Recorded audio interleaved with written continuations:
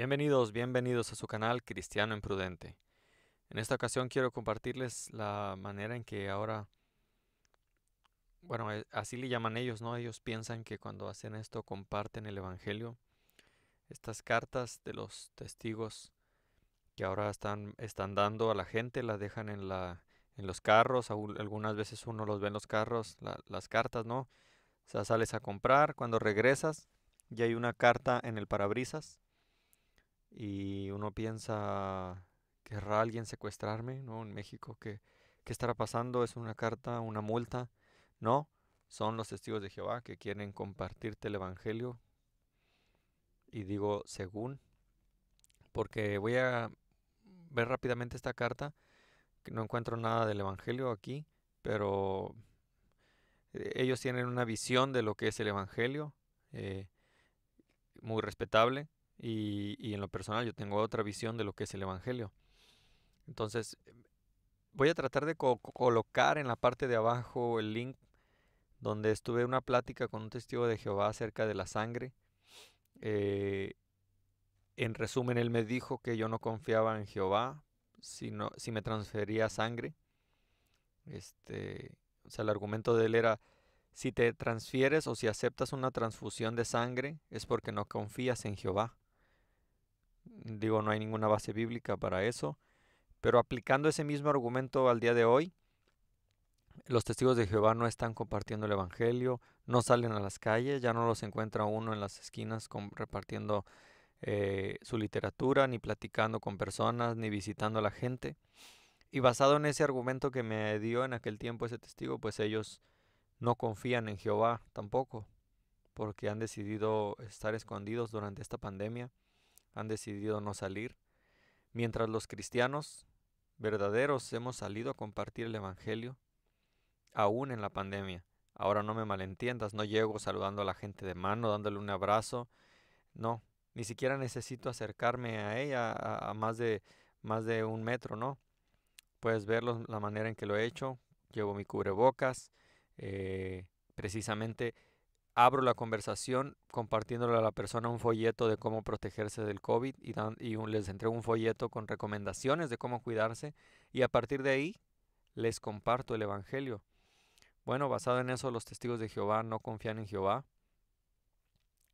y tampoco comparten el Evangelio. Estos días han estado ocultos, han estado inmersos ¿no? en su en lo que la literatura les ordena, porque ellos dicen que han seguido recomendaciones, ¿no? Pero en realidad es lo que les ordena el cuerpo gobernante, estar ocultos durante esta pandemia y desconfiar en que hermosos son los pies de los que predican el Evangelio, ¿no? No, los cristianos verdaderos continuamos predicando el Evangelio, aún después de una pandemia, aún después de una guerra, salimos a compartir a todo el mundo. No es algo, yo no dependo de lo que mi iglesia local me diga, en cuanto a eso, en cuanto al evangelismo. Entonces, bien dice, mi nombre es, si entiendo bien, Marisela y soy testigo de Jehová. Pudiera decir tanto de esa sola introducción, ¿no?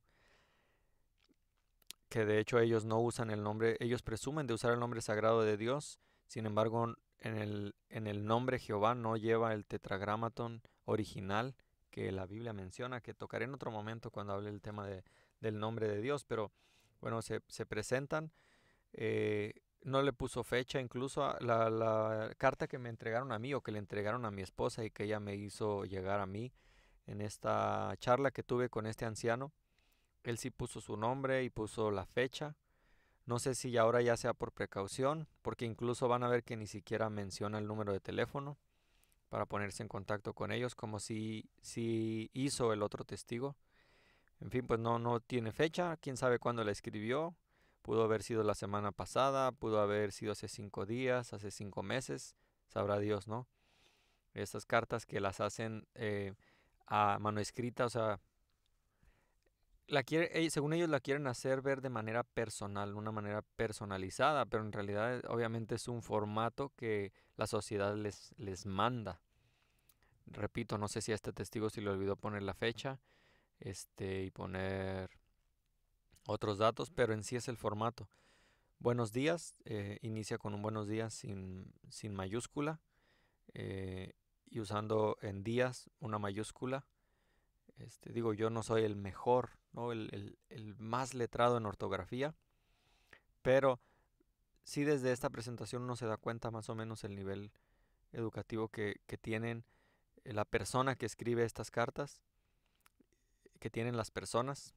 Decía que tiene, por, por refiriéndome a, a, Marcel, a Maricel, ¿no? Pero en realidad uno se da cuenta, no solo en, el tipo de escritura, ve, usa acentos en, en, en, el nombre de Jehová, no, hay respet, no respeta comas, usa mayúsculas cuando no debe usar y, y, no usa mayúsculas cuando debería. ¿A dónde voy con esto? No, no es mi intención, no, no me estoy burlando. De hecho, a los cristianos, debería, a los cristianos que no comparten el Evangelio debería darles vergüenza.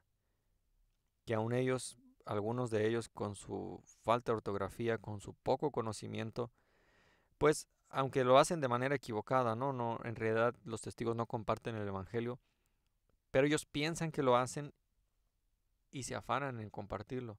A los cristianos que no salen a las calles, que no comparten con la gente, que no escriben tampoco, pues no tendrían ningún derecho de decirle a un testigo de Jehová, hey, eso que estás haciendo está mal, porque ellos mismos no lo están haciendo.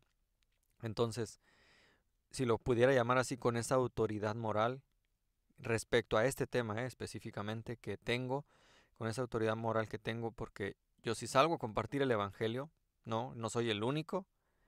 Eh, aclaro esto no para jactarme, eh, sino que digo, yo sí de alguna manera puedo hablar de esto porque yo sí estoy compartiendo el Evangelio. ¿No? Si yo no saliera a compartir, cualquier testigo de Jehová me pudiera reclamar por esta crítica que estoy haciendo esta carta. Y, y, esta, esto, esto que digo, cuando digo, porque yo sí estoy saliendo a compartir, no es una jactancia, repito, pero me estoy anticipando a alguna crítica, algún comentario que, que me van a hacer los testigos de Jehová, decirme, bueno, por lo menos nosotros estamos entregando cartas, ¿no? Bueno, a pesar de nuestra falta de ortografía, estamos compartiendo cartas, estamos compartiendo el Evangelio. No me pueden decir eso a mí porque yo sí estoy saliendo a la calle. Así que dice, buenos días, señor o señora. Por este medio me dirijo a usted. Ellos no saben en realidad con quién están hablando. Una vez recibí una llamada eh, en random, o sea, aleatorio, donde un testigo me saludó. Contesté y le dije, ¿cómo tuvo mi número? Dice, no, no lo tuve, solo estoy marcando números al azar y me salió el de usted. Ah, muy bien, acepté su charla, pero ya nunca más continuó. No sé si, no sé, no sé si su número, mi número lo tienen, etcétera, no sé. Me dirijo a usted esperando se encuentre bien de salud. No hemos podido visitarlo en casa por el momento. Si lo quisiera leer como está escrito, hermanos, no pudiera hacerlo porque no tiene comas. Eh, entonces sería algo confuso. Estoy tratando de ponerle comas donde creo que va, ¿no? Lo voy a leer así más bien. No hemos podido visitarlo en casa por el momento debido a la contingencia. Entonces, repito, eh, ¿temen a Jehová o temen a la pandemia? ¿A quién temen? Y, y, ahora no estoy diciendo que nos debemos exponer, pero poniendo de nuevo el ejemplo de, la justificación de si, te trans, si aceptas una transfusión de sangre es porque no confías en Jehová. Bueno, si no sales a compartir a las calles, es que no confías en Jehová pudiera decir. Pero bueno, dice a la contingencia que estamos pasando, pero le tengo buenas noticias de parte de Dios. ¿Qué le, de parte de Dios? ¿Qué le parece? Ahí iría unos signos de interrogación, ¿no? Pero dice, le tengo muy buenas noticias de parte de Dios. ¿Qué le parece? Uh, buenas noticias. De hecho, el Evangelio son buenas noticias, pero no estas buenas noticias que ellos te quieren dar. Las buenas noticias es que Cristo resucitó y pagó tu pecado, por tu pecado. ¿Cómo vas a entender las buenas noticias si no entiendes antes las nuevas? Y las, las malas, perdón. Y las malas noticias era que tú eres pecador y que has fallado con la, en, contra de la ley de Dios y que todos hemos pecado y que tenemos eh, que comparecer ante el juicio de Dios y que si no vamos a Cristo, pereceremos. Si no entiendes bien las malas noticias, discúlpame, las buenas nuevas del Evangelio solo van a ser una mejora de vida, que es lo que te ofrecen los testigos. Ven a Cristo para que tu, tu salud mejore, ven a Cristo para que te vaya bien. No, no es esa, de eso no se trata el Evangelio. Bueno, continúa la carta. ¿Se ha preguntado usted alguna vez qué es el reino de Dios? Ellos van a tratar de decirte qué es el reino de Dios, ¿eh? A pesar de que han fallado en cuatro fechas para, la, para el fin del mundo, a pesar de que han fallado en profecías en cuanto a los acontecimientos que iban a, a venir, eh, de que las iglesias cristianas no iban a desaparecer y que además íbamos nosotros a ir a buscar a las cartas de Russell para entender lo que pasaría. Pero bueno, ellos dicen que si te has preguntado alguna vez qué es el reino de Dios, bueno, es un gobierno, dice, que Jehová estableció en el cielo. Dios escogió a Jesús para que él fuera el rey o gobernante desde, de ese reino. Dios escogió a Jesús. Vean, aquí hay una similitud con la teología, si pudiera llamarla así, de los mormones. Y es que Dios, de la manera cuál era el plano para salvar a la humanidad. Eh, esto dicen los mormones, aclaro, esto no lo dicen los testigos. te voy a decir en qué se parecen. Eh, y Satanás ofreció su plan, y Jesús también ofreció su plan, que de hecho para los mormones Jesús y Satanás eran hermanos. Pero bueno, si hay que hablar de, cosas tan, tan, tan, fumadas y tan locas, los mormones se llevan el primer lugar. Entonces al Padre no le agradó el plan de Satanás, le agradó más el de Jesús y entonces pues el Padre escogió a Jesús de entre, de entre otras criaturas. En eso se aparecen los testigos de Jehová. Dios escogió a Jesús para que fuera el rey. O sea, lo escogió en medio de otras personas o de otras criaturas que también hubieran podido venir a morir por nosotros, pero Dios escogió a Jesús. Nada más fuera de lo que la Biblia dice. Jesús de hecho era el único camino, no había otra manera para que fuera rey o gobernante de ese reino. La Biblia dice que Jesús puede hacer, es el rey, lo estoy leyendo como dice, ¿no? La Biblia dice que Jesús puede hacer, es el rey de los que gobiernan como reyes y señor de los que gobiernan como señores. Jesús puede hacer mucho más por nosotros que cualquier gobernante humano. Además, Él tiene más poder que todos los gobiernos juntos. De hecho, no solo que tiene más poder, estimado testigo, sino que Jesús es todopoderoso. Ellos te quieren hacer creer que Jesús es poderoso, pero no todopoderoso. Jesús puede hacer mucho más por nosotros que cualquier gobernante humano. Además, Él tiene más poder que todos los gobiernos juntos. Cuando Jesús regresó al cielo 40 días después de ser resucitado, tiempo después, Jehová lo nombró rey del reino. Que aclarando, los testigos de Jehová no creen que Jesús resucitó corporalmente. O sea, toda la fe del cristianismo está basada en un acontecimiento histórico. No sé si sabían eso los testigos de Jehová, pero la fe del cristianismo está basada en un acontecimiento histórico y es la resurrección de Cristo. Bueno, pues para ellos no porque para los testigos de Jehová Jesús no resucitó corporalmente. Lo dice su literatura, solo lo hizo espiritualmente. No sé cómo se atreven a decir esto de, de, que eh, lo que menciona, ¿no? Dice Jehová nombró rey del reino, que por cierto para ellos fue, fue nombrado rey en 1914, no, o sea, se tuvo que esperar un, un poquito de tiempo, ¿no? Un poco más de mil años. El reino de Dios es un reino celestial. Me gustaría compartir con usted un texto bíblico como base bíblica. Segunda de Timoteo 4:18, que pues ya lo leí, no, no tiene nada que ver con lo que ellos te están compartiendo ahorita aquí. Le invito, si tiene Biblia en casa, pueda analizarlo. Ellos se jactan de enviarte a la Biblia, pero vamos a ver. Pueda analizarlo. También puede contactarnos, contactarnos en nuestra página de internet jw.org. En realidad, si entras a esa página no vas a contactar a ningún testigo, vas a contactar su literatura, donde viene toda esta, doctrina, eh, donde te dice cómo debes leer la Biblia, que de hecho ningún testigo de Jehová da estudios bíblicos, lo que dan son estudios de la atalaya. Sí, ellos jamás van a llegar con una Biblia, bien, vamos a leer Mateo juntos y vamos a ver qué el Señor nos dice. No, no. Para ellos el que les entrega el alimento a tiempo, el profeta de Dios, el cuerpo gobernante es quien les ayuda a entender todo. Y si tienes alguna duda, pues ve a JW, ellos tienen las respuestas a tus preguntas. Yo pensaba que era, era Jesús el que daba respuesta, no, yo pensaba que era la palabra, pero no, JW responde todas nuestras preguntas. No se hacen colectas, termina con eso, ¿no? Aclarando. Hay una jactancia de que todos los cristianos piden dinero.